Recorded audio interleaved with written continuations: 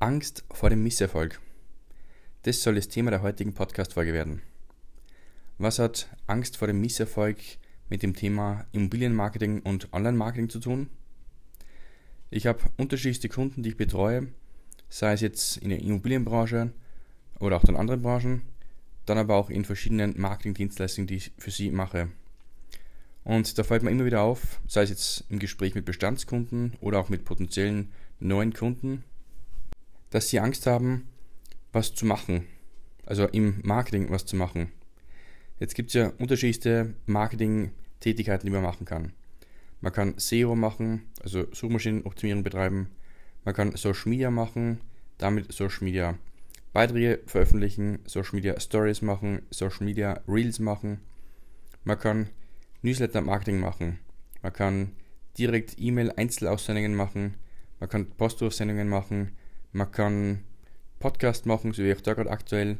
Man kann Videos machen, die man dann auf YouTube hochladet. Also es gibt unterschiedlichste Möglichkeiten, wie man Marketing betreiben kann. Noch und nöcher. Und bei sehr vielen Gesprächen merke ich eben, dass die Leute Angst vor dem Scheitern haben. Also klar, nicht mit jedem Beitrag, den man jetzt erstellt, nicht mit jedem LinkedIn-Posting, nicht mit jeder E-Mail, nicht mit jedem SEO-Artikel kann man und wird man Erfolg haben. Aber um das geht es auch gar nicht. Man muss nicht mit einem entsprechenden Einzelvideo sofort viral gehen. Es geht aber darum, dass man auch dann anfängt und dass man auch dann wirklich mal konstant dran bleibt. Und dass man dann speziell auch wirklich regelmäßig einen Blick hat auf seine Zahlen, um eben auch dann aus diesen Zahlen heraus lernen zu können. Also ich für meinen Teil bin in meiner Persönlichkeit ein konstanter Lerner, Kritiker, Analyst und damit aber auch Optimierer.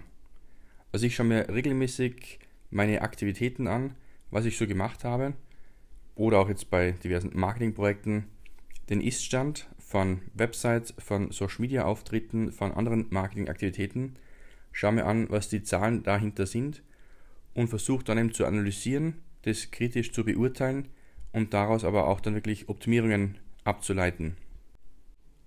Genau das ist zum Beispiel so eine Standardaktivität von SEO, also von Search Engine Optimization, zu Deutsch Suchmaschinenoptimierung. Ich schaue mir einfach an, was ist der Bestand der aktuellen Webseite, der aktuellen Suchmaschinenoptimierungsergebnisse. An welchen Stellen derzeit welche Keywords ranken. Und auch wenn man dann feststellt, da gibt es eben gewissermaßen einen Misserfolg, also mit dem Keyword, was nicht was, Immobilienmakler Salzburg, ist man eben noch nicht auf Seite 1 oder Platz 1, sondern irgendwo extrem weit hinten, dann finde ich eben nicht, dass es direkt ein Misserfolg ist, sondern umgekehrt, ich finde das jetzt ideal, um eben genau daran eben ansetzen zu können und daraus jetzt dann eine Optimierung ableiten zu können. Klar, jetzt kann man sagen, ich habe Angst vor Misserfolg. Was ist, wenn ich mit meinen SEO-Artikeln, die ich jetzt selber in eigenständiger Form geschrieben habe, keinen Erfolg erziele? Ich würde es eher umgekehrt als Misserfolg betrachten, wenn du auch nichts tust. Wenn du eben nicht zu diversen SEO-Artikeln, um bei diesem Beispiel zu bleiben, ja, jetzt anfängst, SEO-Artikel zu schreiben, die dir dann nach einem gewissen Zeitraum, nach Tagen, Wochen, Monaten ein gewisses Ergebnis bringen werden. Und klar, nach zwei Wochen, nach zwei Monaten hast du vielleicht noch nicht dieses Top-Ergebnis, das du dir vielleicht erhofft oder gewünscht hättest, aber auch dann kann man immer noch weiter ansetzen, weiter optimieren, weiter an den entsprechenden Stellschrauben drehen, um eben dann immer dann besser zu werden. Andere Leute sagen mir, sie haben Angst vor dem Scheitern, Angst vor dem Misserfolg mit ihrem Social Media Auftritt. Dass sie, wenn sie jetzt irgendwelche Beiträge machen, halt dann eben keinen Erfolg haben, dass sie dann nicht 100.000 Likes bekommen oder 100.000 Views oder 100.000 Kommentare oder 100.000 Follower oder wie auch immer. Dass sie sagen, sie haben Angst davor, dann mit dieser investierten Zeit eben keinen Erfolg für sich zu erzielen. Das Typische, was viele sagen, ist auch, ich habe auch Angst davor, Geld zu verlieren oder Geld in den Sand zu setzen. Aber ich sage jetzt im Allgemeinen eben, ich finde es eben wichtig, dass man Fehler macht, dass man dann eben auch diese Fehler analysiert und aus diesen Fehlern lernt. Ein anderes Marketing-Thema ist zum Beispiel das Thema Facebook-Werbeanzeigen schalten. Oder nicht nur Facebook- und Instagram-Werbung, sondern allgemeine Werbeanzeigen zu schalten. Sei es eben Meta-Ads auf Facebook und Instagram, sei es Google-Ads, sei es LinkedIn-Ads Jedenfalls ist es so, man startet eine Werbeanzeigenkampagne, man stellt mal eine angedachte Zielgruppe ein, Nachher erstellt man die ersten Creatives, also Fotos, Videos, Karussellbeiträge, wie auch immer, und schreibt dazu auch dann die ersten Texte. Jedenfalls wird es dann auch da sein, dass man eben die Kampagne mal startet und dann mal nach einigen Tagen oder nach ein, zwei Wochen immer wieder mal draufschaut und sieht, wie hat denn jetzt die Kampagne funktioniert oder nicht funktioniert. Wie ist jetzt der Erfolg, den man daraus ableiten kann, oder ist es eher ein Misserfolg worden? Aber genau daraus muss man jetzt wirklich lernen und genau das ist auch das, was wir so als Agentur, was ich so als Betreuer von Kampagnen immer wieder mache, ist zu schauen, welche Kampagnen, welche Werbeanzeigen haben funktioniert und welche haben nicht funktioniert. Und dann natürlich auch dann die, die was nicht funktioniert haben, abschalten und dann wiederum mehr Budget freigeben auf die anderen Anzeigenkampagnen, die eben funktioniert haben. Und die, die was gut funktioniert haben, die werden dann einmal weiter optimiert und weiter verbessert, um eben noch bessere Ergebnisse erzielen zu können. Also bei Werbeanzeigenkampagnen gibt es hundertprozentig auch einen Misserfolg, der gehört dazu, weil du hast mir eine Idee, wie du jetzt dann Marketing auf den Markt hin machen möchtest. Nur ob jetzt deine Idee auch gut ist oder schlecht ist, das wird dir entweder der Algorithmus zeigen oder eben auch wirklich der Markt selber zeigen. Und da sieht man eben dann auch, wenn man einige Creatives gegeneinander austestet, welche eben gut performen und welche schlecht performen, welche eben zu Ergebnissen führen oder welche umgekehrt zu keinen Ergebnissen führen.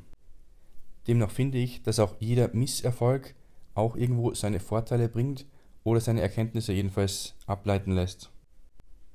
Also wenn ich eben, um nur beim Beispiel Meta-Ads-Kampagnen zu bleiben, die Kampagne hat nicht funktioniert, dann heißt es für mich, die Kampagne hat noch nicht funktioniert. Wir müssen jetzt aus diesen gewonnenen Erkenntnissen irgendwelche Ergebnisse ableiten, irgendwelche Änderungen ableiten für die weiteren Anpassungen, für die weitere Iteration, um eben jetzt dann daraus eine noch bessere Anzeige oder eine, eine komplett andere Anzeige machen zu können. Ein weiteres Beispiel, auch aus den Gesprächen mit diversen Bestandskunden oder auch dann potenziellen Neukunden heraus, ist der, dass sehr viele Leute sagen, ich habe Angst vor Kaltakquise-Gesprächen oder nicht nur Kaltakquise-Gesprächen, auch vor Gesprächen mit potenziellen Kunden, mit Gesprächen mit Leads, mit kalten, also auch aufgewärmten, warmen Leads. Ich habe jedenfalls Angst davor. Angst vor Ablehnung. Und eben genau deswegen, weil sie einfach Angst davor haben, irgendwas zu tun, machen sie dann oftmals gar nichts. Und das finde ich weit schlimmer, weil man auch damit in einer gewissen Schockstarre bleibt und eben gar nicht in die Aktivität, in die Handlung reinkommt. Ich finde es soweit besser, auch da diese Angst, die man hat, zu überwinden und dann trotz dieser Angst zu handeln, um dann eben die ersten Telefonakquisegespräche zu machen. Und dann kommt man drauf, okay, da hat es Ablehnung gegeben, da hat es einen Misserfolg gegeben. Was ist die Ursache für das Ganze? Warum hatte ich da Misserfolg? Auch da gilt es jetzt irgendwo kritisch anzusetzen und dann zu hinterfragen, was war mein Einstiegsgespräch, was war mein Leitfaden, was war der Grund der Ablehnung, habe ich den Einwand oder den Vorwand nicht wirklich behandeln können. Und wenn ich das weiß, dann kann ich auch aus diesen Erfahrungen heraus lernen. Also, das Fazit aus dieser heutigen Podcast-Folge soll sein, Lass dich nicht von Angst vor Misserfolg entmutigen und in eine Schockstarre versetzen, sondern umgekehrt, lass dich von Misserfolg inspirieren. Schau, was du aus diesem Misserfolg lernen kannst und was du dann eben auch daraus optimieren musst. Nutze die gewonnenen Erkenntnisse aus deinen Analysedaten, aus deinen Aufzeichnungen, die du hoffentlich gemacht hast, entweder in manueller Form oder eben durch die ganzen Auswertungstools, sei es eben durch die Meta-Ads-Kampagne oder durch Google Analytics oder durch welche Datenanalyse-Tools auch immer. Aber schau dir auch an, was jetzt diesen Misserfolg herbeigebracht hat und wie du aus diesem Misserfolg eben ein Learning für dich ziehen kannst. Und wenn du das machst, deine Immobilienmarketing und anderen Marketing-Misserfolge zu analysieren, dann bin ich stark davon überzeugt, dass du auch daraus eben profitieren kannst und das eben dann zum Erfolg umwandeln kannst. Solltest du entweder rein eine Angst vor dem Misserfolg haben oder solltest du tatsächlich bereits mal einen Misserfolg gehabt haben in deinem Marketing, dann setz dich gerne mit mir in Verbindung und lass uns mal über deinen Misserfolg sprechen, über dein SEO-Ranking-Ergebnis, über deine geschalteten Werbeanzeigenkampagnen, über deine anderen Marketingaktivitäten und lass uns gemeinsam drauf schauen, welche Erkenntnisse wir daraus ableiten können, um diesen Misserfolg dennoch in einen Erfolg verwandeln zu können.